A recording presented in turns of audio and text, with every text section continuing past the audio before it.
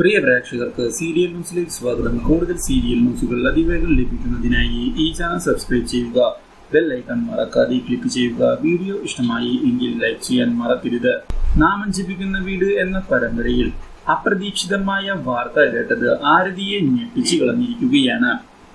ആരതിയും ഒന്നിരവി വർമ്മയും ഈനാശുവിനെ ചെന്ന് കണ്ടു എന്നുള്ള കാര്യം അറിയുന്നത് മിഥുനെ ഞെട്ടിച്ചതിനെ തുടർന്ന് മിഥുൻ.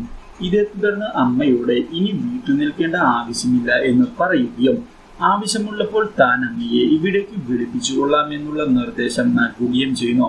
എന്തുകൊണ്ടാണ് മിഥുൻ അങ്ങനെ പറഞ്ഞത് എന്ന് മിഥുന്റെ അമ്മ ചോദ്യം ചെയ്യുന്നുവെങ്കിലും മിഥുൻ യാതൊന്നും വ്യക്തമാക്കാൻ തയ്യാറാകാതെ അമ്മയോട് വീട്ടിൽ നിന്ന് പോകാൻ ആവശ്യപ്പെടുന്നു. എന്നാൽ ഇതേ തുടർന്ന് മിഥുനെ കാണുന്നതിനായി മിഥുന്റെ വീട്ടിലേക്ക് എത്തുന്ന ആരതി മിഥുന്റെ അമ്മ പോയി എന്നുള്ള കാര്യം അറിഞ്ഞതിനെ തുടർന്ന് അച്ഛനുമായി വഴക്കിട്ടിട്ടാണ് താൻ ഇവിടേക്ക് വന്നത് എന്ന് മിഥുനോട് പറയുകയും മിഥുനുമായുള്ള വിവാഹത്തിൽ അച്ഛന് താല്പര്യക്കുറവുണ്ട് എന്ന് അറിയിക്കുകയും ചെയ്യുന്നു. പക്ഷേ എന്തൊക്കെ തടസ്സമുണ്ടായാലും താൻ മിഥുനെ തന്നെയാണ് വിവാഹം കഴിക്കുക എന്നും തന്റെ നിലപാട് മാറുകയില്ല എന്നും ഉറപ്പു നൽകുന്ന ആരതി. അതുകൊണ്ട് തന്നെ മിഥുന്റെ മനസ്സിൽ എന്തെങ്കിലും മാറ്റങ്ങൾ വന്നിട്ടുണ്ടോ എന്ന് ചോദിക്കുകയും ചെയ്യുന്നു. പക്ഷേ ആരതിയുടെ തീരുമാനം ഉറച്ചതാണ് എങ്കിൽ തന്റെ തീരുമാനവും ഉറച്ചത് തന്നെയാണ് എന്ന് വ്യക്തമാക്കുന്ന മിഥുൻ അതുകൊണ്ട് തന്നെ ഈ വിവാഹം നമ്മൾ മനസ്സിൽ കണ്ട മുഹൂർത്തത്തിൽ തന്നെ നടക്കും എന്നുള്ള കാര്യം പറയുകയും ചെയ്യുന്നു.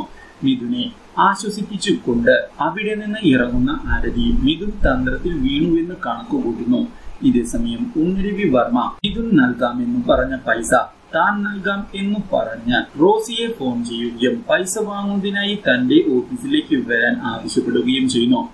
ഇതനുസരിച്ച് റോയ് ഓഫീസിലേക്ക് വന്നതിനെ തുടർന്ന് എത്ര ലക്ഷം രൂപയാണ് മിഥുൻ നൽകാനുള്ളത് എന്ന് ചോദിക്കുകയും ടോട്ടൽ എത്ര രൂപ ഇപ്പോൾ റോസിക്ക് ലഭിച്ചിട്ടുണ്ട് എന്ന് തുറന്നു പറയാൻ ഉണ്ണിരവി ആവശ്യപ്പെടുകയും ചെയ്തതിനെ തുടർന്ന് റോസി അതിന് തയ്യാറാകാതെ തനിക്ക് നൽകിയ പൈസ തന്നാൽ താൻ പോയിക്കൊള്ളാമെന്നും ബാക്കി കാര്യങ്ങളൊന്നും നിങ്ങൾ അറിയേണ്ടതില്ല എന്ന് വ്യക്തമാക്കുകയും ചെയ്യുന്നു.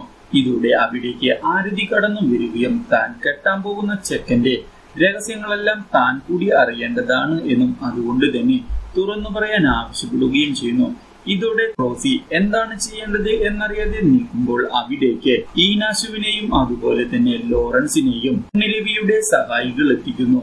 ഇതോടെ എല്ലാവരും കുടുങ്ങിക്കഴിഞ്ഞു എന്നുള്ള യാഥാർത്ഥ്യം റോസിക്കും മനസ്സിലാവുകയും ഈനാശുവിനോട് എന്ത് രഹസ്യമാണ് നിങ്ങൾ മറച്ചു വെക്കുന്നത് എന്നും മിഥുന്റെ രഹസ്യം ഇവിടെ തുറന്നു പറയുന്നതാണ് നല്ലത് എന്നും ഉണ്ണിരവി പറഞ്ഞതിനെ തുടർന്ന് ആരതിയുടെ മുഖത്തേക്ക് ആസിഡ് ഒഴിക്കുന്നതിനു വേണ്ടിയുള്ള കൊട്ടേഷൻ നൽകിയത്.